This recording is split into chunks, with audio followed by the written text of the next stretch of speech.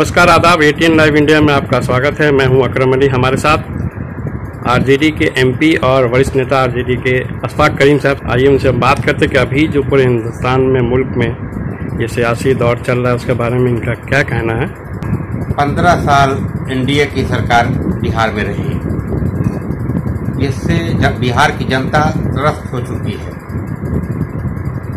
और यहाँ की जनता देख रही है कि किस तरह से हमें गठबंधन को जिताना है। कितनी पार्टियाँ आपके साथ हैं? देखिए हम लोग राष्ट्रीय जनता दल कांग्रेस माले और सीपीआई हमारा एक मज़बूत गठबंधन है। ये गठबंधन की सरकार बनने जा रही है।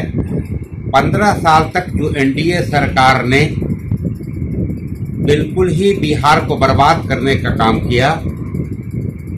उसको देखते हुए यहाँ की जनता बिल्कुल त्रस्त है और एनडीए को हराना चाहती है, भगाना चाहती है बिहार से और गठबंधन की सरकार बनाना चाहती है। उसका और भी कई कारण है। हमारा जो नेता है राष्ट्रीय जनता दल का, तेजस्वी जी, उसने आह्वान किया, बिहार के नौजवानों से कि आपको हम नौकरी देने का काम करेंगे, आपको रोज़गार देने का काम करेंगे, आपको जब सरकार बनेगी तो लोन देकर बिज़नेस करने का काम करेंगे।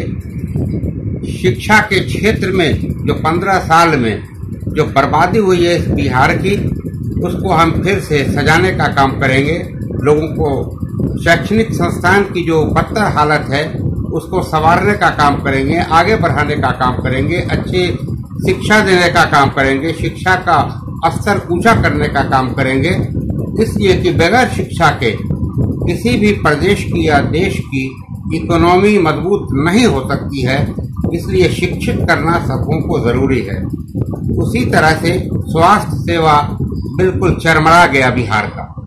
उस स्वास्थ्य सेवा को आगे बढ़ाने के लिए, सबको स्वास्थ्य सेवा देने के लिए, गरीबों को स्वास्थ्य सेवा देने के लिए और भी दूसरे लोगों को आगे बढ़ाने के लिए, स्वस्थ रखने के लिए कई योजना बनाई गई है राष्ट्रीय जनता दल के द्वारा। साथ साथ मजदूरों को, गरीबों को रोज़गार कैसे मिले, उनको रोज़ाना रोज़गार कैसे दिया जाए, उस जो पढ़े लिखे नहीं हैं, उनके लिए भी कार्यक्रम बन रहा है।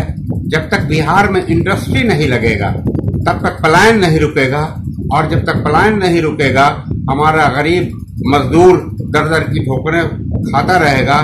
कभी पंजाब, कभी आसाम, कभी बंगाल, कभी दिल्ली। और देखा ही अभी आपने कोविड में कि किस तरह परेशान हुए हैं हमारे मजदूर, हमारे लोग किस तरह परेशान हुए हैं। इन सब पर समीक्षा किया है। इन सब पर तेजस्वी जी ने बैठकर हम लोगों के साथ मिलकर कैसे मज़बूत होगा हमारा बिहार, यहाँ की जनता कैसे साफ़ सुथरी होगी कैसे स्वस्थ होगी, कैसे शिक्षित होगी, कैसे रोज़गार मिलेगा, किस तरह से इंडस्ट्री खुलेगा, उस पर काफ़ी मंथन हो चुका है।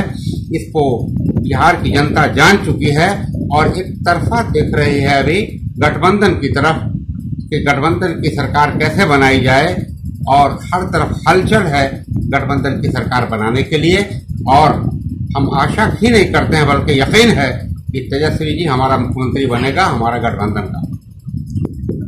बहुत बहुत शुक्रिया हमसे बात करने के लिए। अभी हमसे बात कर रहे थे Ashfaq Karim Sahab ATN live India Akram Ali, Patna.